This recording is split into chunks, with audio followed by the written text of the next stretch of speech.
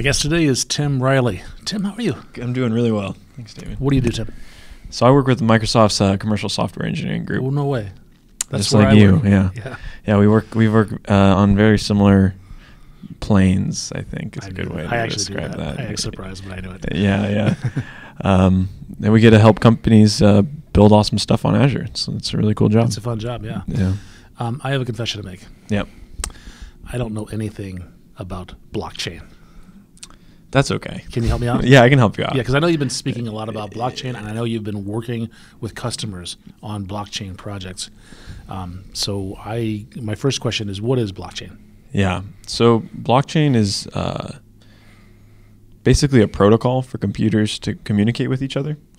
Um, I think people get confused thinking it's actually some physical blocks in some location. It's physical chains too, probably. Yeah, physical chains connected to each other. Um, but really, it's a way of computers for organizing information among each other. Okay. Uh, can you describe what this uh, organization look like? Yeah. Um, so I, I just give, gave a presentation about this, so it's very fresh. Good. Um, so there's I'm sorry I missed that. I Oh, was, it I was actually good. doing another interview in this room. Oh, good, good, yeah. Um, it's actually really an honor to be on this this uh, this video cast. It's I love I love watching the, your your videos. So it's for cool. To, it's so. cool. It's cool to be here. Um, so there's kind of seven things that kind of become the blockchain, and if if your software system is able to do these seven things, it's probably a blockchain like system. Um, the first one is a peer-to-peer networking environment. Okay. So the computers are able to talk to each other. All right. Like Windows for work groups. Yeah. Oh, you're too young to I don't remember get that. no, more like BitTorrent or um, Oh, okay. or Yeah. like a mesh network. Got it. Um, some kind of protocol so everyone can communicate with each Mhm. other and share information. No, no client server model. Right.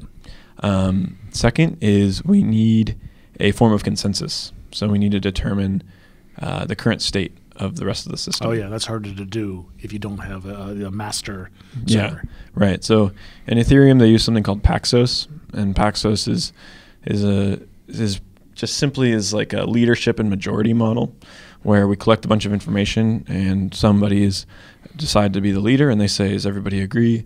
And if the majority of the people agree, that's the kind of the state we take. Okay, I'm sorry. What's Ethereum? Ethereum Ethereum is uh, sep- a different implementation of the blockchain. Okay. So it's it's very similar to um, Bitcoin's blockchain. Okay. uh, but I've I've just been kind of focused on Ethereum recently. Okay, so there are multiple implementations of blockchain, uh, which is an Dis- algorithm or distributed ledger technology. okay, and yeah, uh, Ethereum is one of those. All right. yeah, correct. Um, the third thing is we need a uh, uh, basically a state machine to keep track of all of this consensus that's happening. Okay. So every time we have a, a message that's received, or I guess I guess I should do the fourth one. Uh, or the third one will be like messages. So we need a way of interpreting, collecting all this information in the form of messages. And I like to think of this as just like a cash register. Like at some point, somebody put in some information, and it becomes a transaction. Hmm. What's an example of a message? Like add a dollar, reduce a dollar. Okay. Um, so all these messages come in the form of transactions. Mhm. And then we need to use that consensus and those messages to build a state machine. Hmm. So that's the fourth one. So I kind of went out of order there. All right, but a state machine um, essentially it keeps track of the state of every element in a system and the history of those states, right? Yeah. So and, and the transition phases between those states. exactly. Yeah. So we we're able to use we're able to use those messages and that consensus to build a state machine. Okay. Kind of those things together become the state machine. Um, and then fifth, we're looking at a um,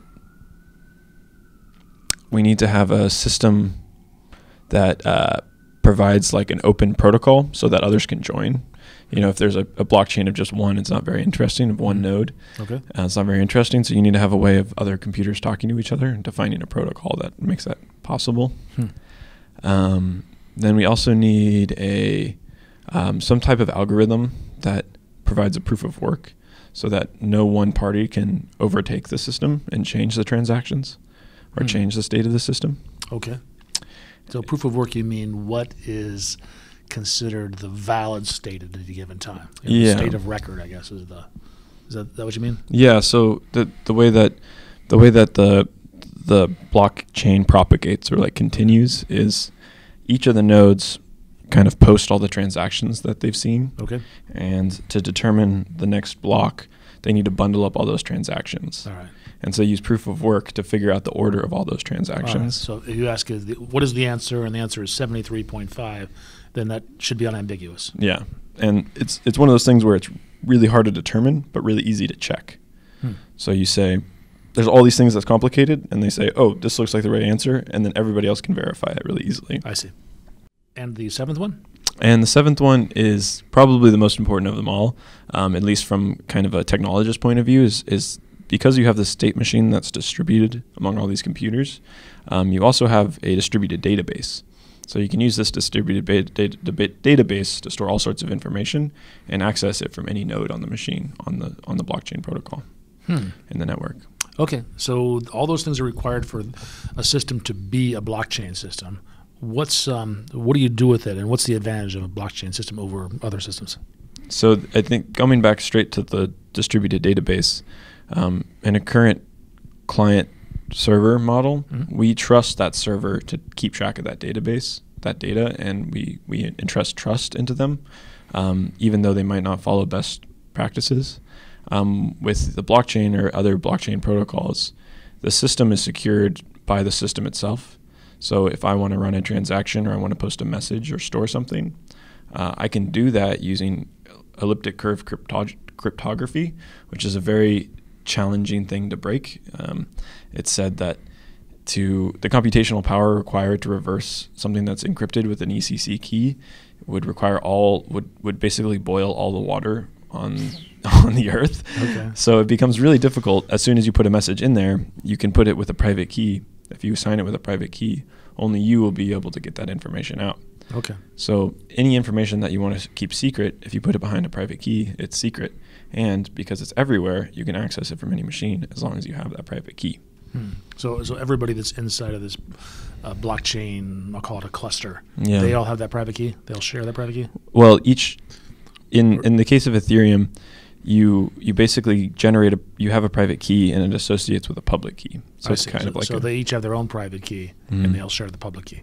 well, they each have a, their own they have their own kind of register. I see. So they use the, the combination of their public and private key, so they can um, sign information. They can say, "I verify this."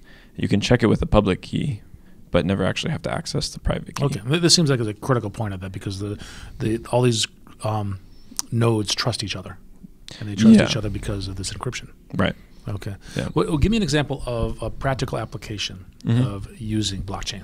Yeah. Um, there's a lot of interesting ways to use blockchain, and and my specialty has been around building um, with Ethereum, and Mhm. Ethereum kind of unlocks a different.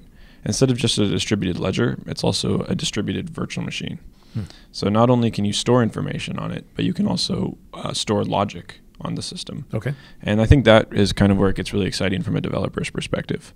Um, there's kind of a notion in, in Ethereum, the Ethereum world, where it's a it's a developer tool. It's built for developers by developers for development.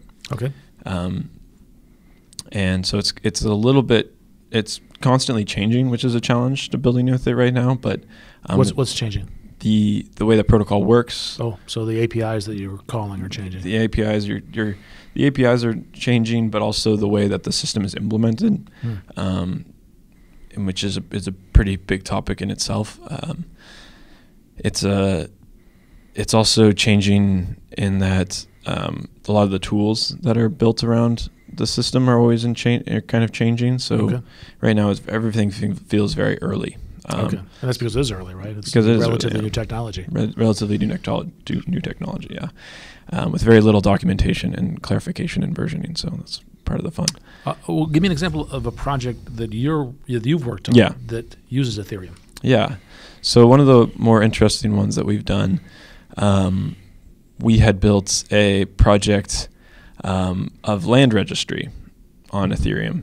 So we built a contract that basically allows users to associate um, plots of land, Okay. and then we map that using an Azure function to uh, Minecraft. Ah. so a Minecraft user, somebody playing in, in this modded server, um, if they wanted to mine in the land, they have we would run a check against their ownership of that land on the blockchain. And if they didn't own that land, it'd be rejected and they wouldn't be able to mine there.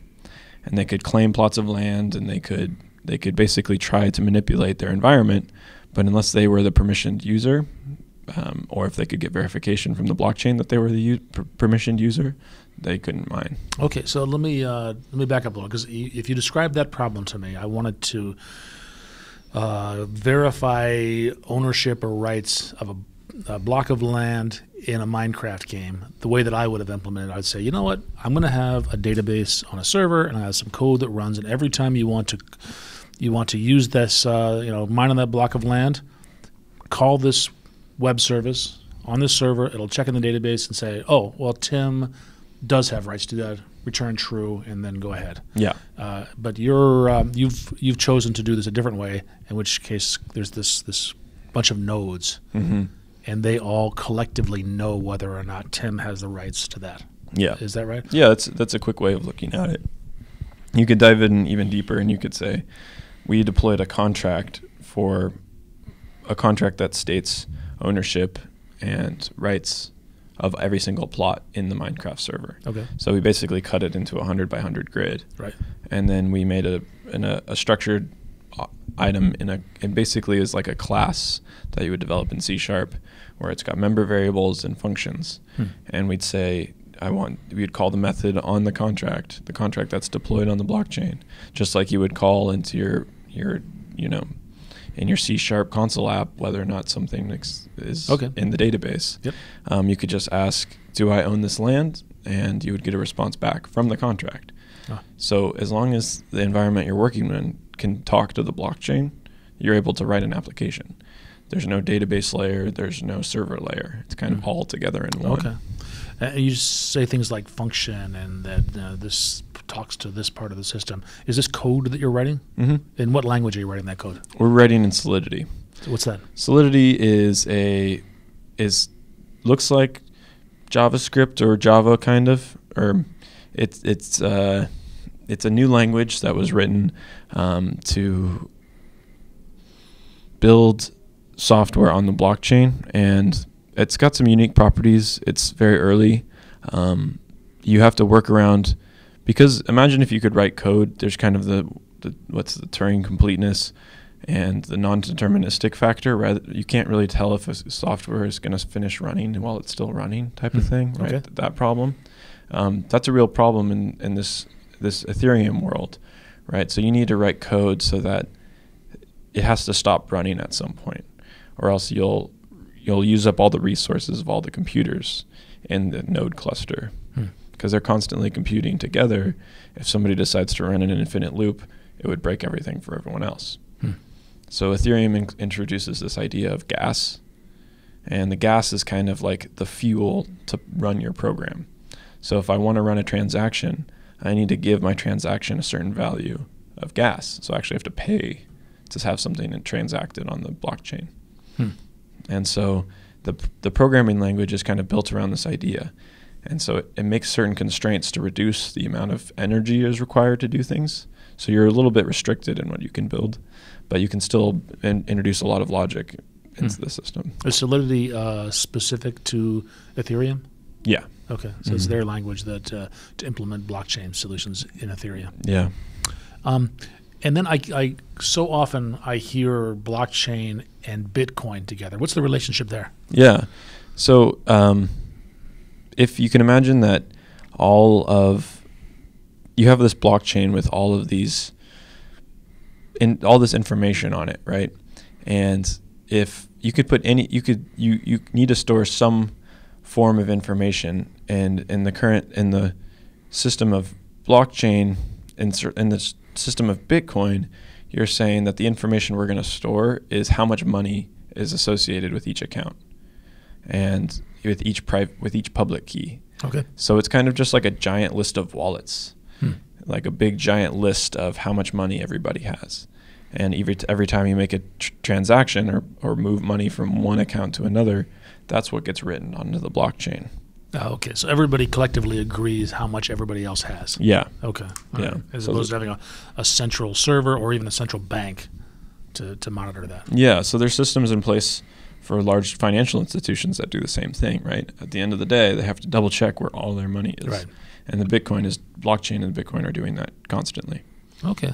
Yeah. Well, this is good stuff. I feel like now that I've spoken with you for a few minutes, I know everything there is to know. Yeah. about blockchain. Oh, good.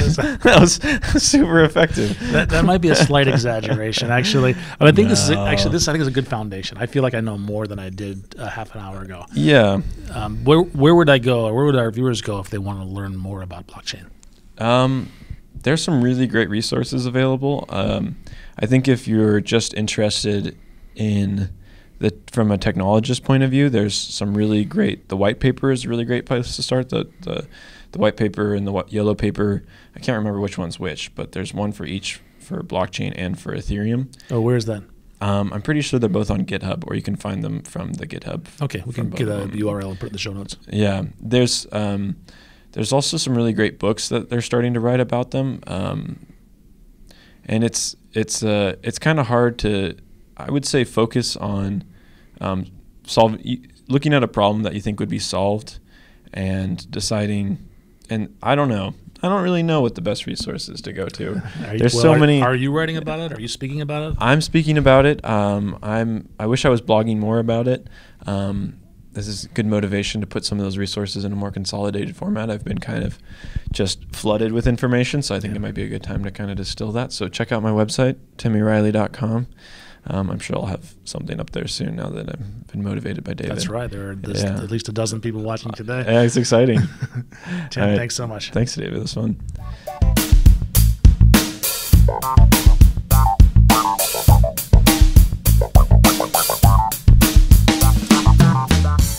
I don't know. The, the, the greatest thing about technology is you make new friends.